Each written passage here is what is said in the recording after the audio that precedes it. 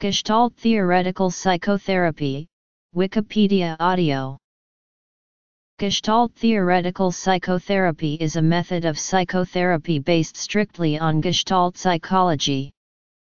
Its origins go back to the 1920s when Gestalt psychology founder Max Wertheimer, Kurt Lewin, and their colleagues and students started to apply the holistic and systems theoretical Gestalt psychology concepts in the field of psychopathology and clinical psychology. Many developments in psychotherapy in the following decades drew from these early beginnings, like e.g., group psychoanalysis, so called Gestalt therapy or Katathym imaginative psychotherapy.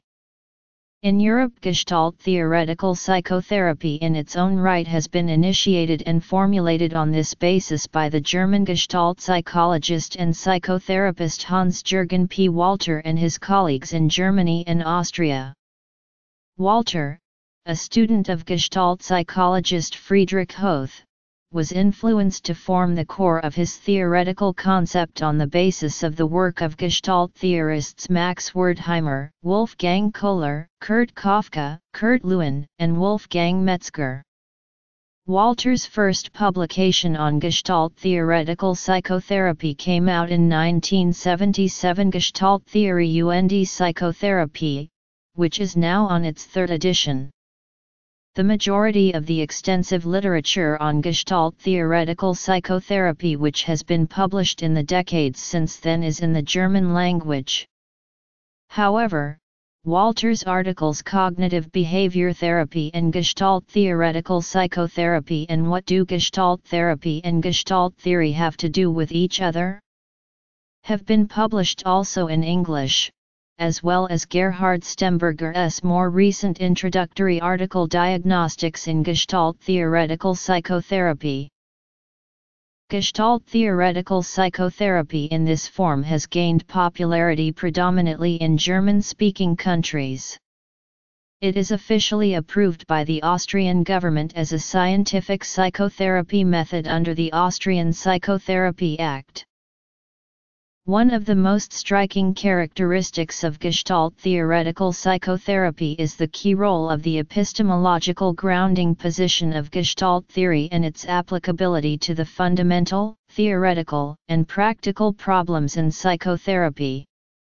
In Gestalt theoretical psychotherapy this is closely bound up with the basic methodological approach of Gestalt theory, its system theoretical approach and its specific psychophysical and psychological approach.